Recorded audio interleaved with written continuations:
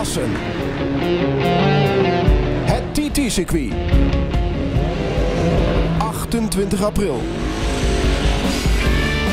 Het WK Superbike, stuntshows, entertainment en natuurlijk schitterende races. Vrijdag en zaterdag de trainingen en kwalificaties. Als bezoeker bent u dicht bij de rijders. Het WK Superbike, zondag 28 april op het TT-circuit in Assen.